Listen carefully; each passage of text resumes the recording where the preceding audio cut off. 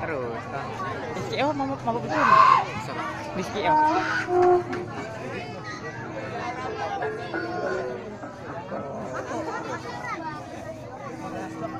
Siapa yang nyembuhkan nanti?